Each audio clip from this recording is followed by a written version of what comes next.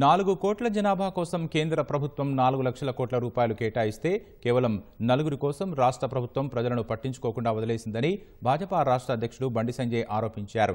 రాష్ట్ర ఆవిర్భావ దినోత్సవం సందర్భంగా పార్టీ కార్యాలయంలో జెండా ఆవిష్కరించారు. రాష్ట్రం ఏర్పడి తొమ్మిదేళ్ళు గడిచినా భారాసా పరిపాలనతో ఏ ఒక్క వర్గం సంతృప్తిగా లేదని మండిపడ్డారు. మహిళలు యువత రైతులను ప్రభుత్వం పూర్తిగా మోసం చేసిందని ఆరోపించారు.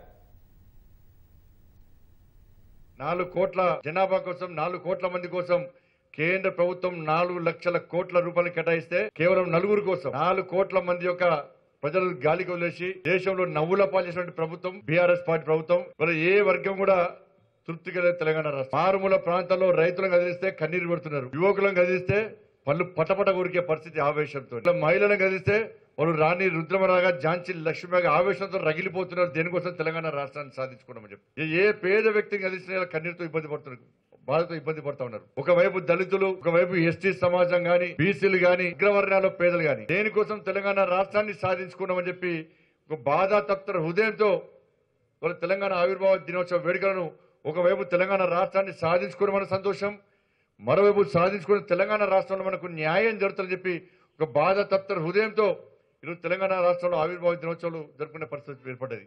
తొమ్మిది సంవత్సరాల కాలంలో ఏ ఒక్కరుడ ఏ రైతు కుటుంబాన్ని ఆదుకున్న దాఖలలో బీఆర్ఎస్ పార్టీ ప్రభుత్వం.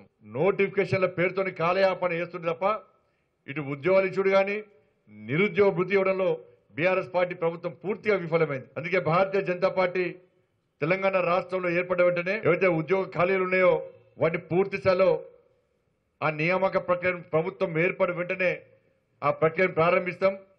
నిరుద్యోగ యువతను ఆదుకునే ప్రయత్నం చేస్తాం. ప్రతి సంవత్సరం వారిగా జాబ్ క్యాలెండర్ రిలీజ్ చేయడానికి భారతీయ జనతా పార్టీ నిర్ణయం తీసుకున్నది కాబట్టి ఈ విషయాలు కూడా తెలంగాణ సమాజం గుర్తించాల్సిందిగా మేము కోరుతున్నాం.